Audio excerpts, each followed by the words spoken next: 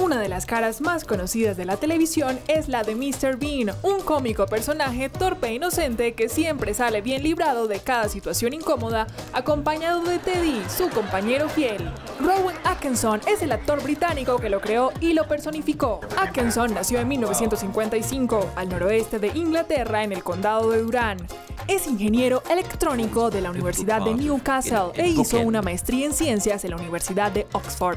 Fue allí donde conoció al guionista de cine Richard Curtis, quien lo acercó al teatro. Juntos produjeron en 1983 la comedia de televisión Black Heather, la cual fue transmitida por seis años por la BBC. Año 1990 aparece el primer capítulo de Mr. Bean. Con él, Atkinson rescató las técnicas básicas de cómicos como Charles Chaplin o Buster Keaton, en las que el humor se transmite por medio de la correcta utilización del cuerpo y de las imágenes.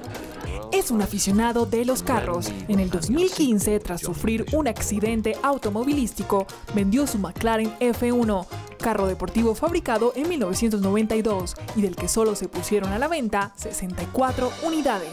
Ese mismo año se divorció de la maquillista Sunitra Sastry. Después de 24 años de casados, la pareja tuvo dos hijos.